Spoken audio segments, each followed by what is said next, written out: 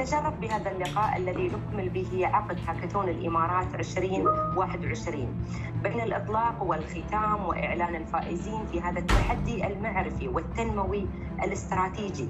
مع بالغ شكري وتقديري لجهود الأخوة والأخوات في هيئة تنظيم قطاع الاتصالات وسعادة المطلقة في تقديم الدعم اللازم من وزارة تنمية المجتمع ممثلة بالبرنامج الوطني للسعادة وجودة الحياة.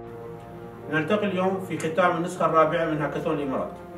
هذا الحدث السنوي الذي أصبح ملتقى للأفكار المتنافسة والعقول المبدعة ومناسبة ينتظرها الشباب المتحفزون للبرهنة على أن العصر الذي نعيشه هو عصر الإبداع والابتكار. ونحن في هذه اللحظة أمام معرض الأفكار الملهمة. أحد أهم نتاجات هاكاثون الإمارات ونستأذن مع الوزير وسعادة المدير العام بافتتاح المعرض الافتراضي